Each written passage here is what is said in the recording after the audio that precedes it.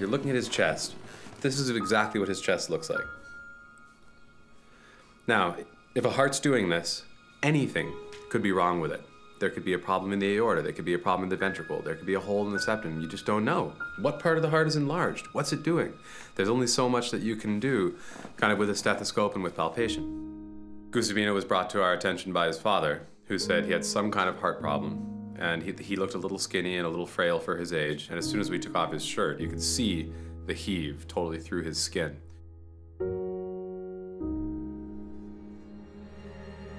The remote mountain community of La Sabana, which is several hours above Pueblo Nuevo on the mainland, the challenge became how do you get this kid from way up in the mountains to a pediatric cardiologist and potentially to a pediatric cardiac surgeon to kind of correct this problem? We've arrived in Pueblo Nuevo, uh, the jumping off point for our mobile clinic to La Sabana in the mountains. And it's actually been really dry for three or four days. This actually might be uh, one of the easier passages up the mountain that we've had. Let's see.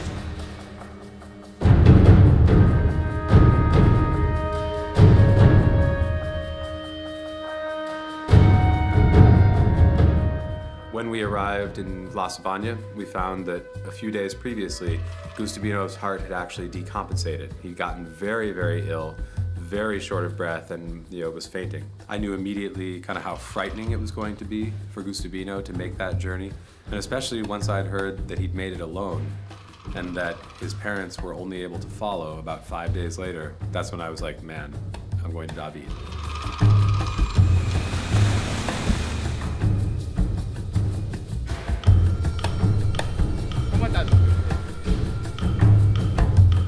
We're here at the Women's and Children's Hospital in David. Gustivino has been here seven days.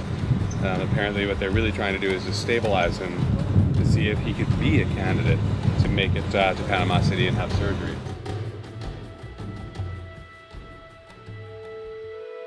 We looked in on Gustivino. He's profoundly anemic. His hemoglobin is very, very low. This may be nutritional. This may also be due to the fact that he also has tuberculosis. Um, and he has this some kind of restrictive defect, giving him his shortness of breath.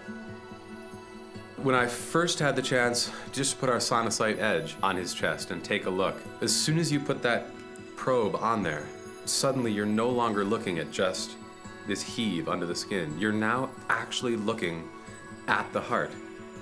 We were able to see in extraordinary detail the dilation of his atria. We were able to look at his valves, it was very interesting to see a pediatric cardiologist using the edge because of the specific information that she was able to glean by being able to really see all the structures, to kind of walk through all the different parts of the heart.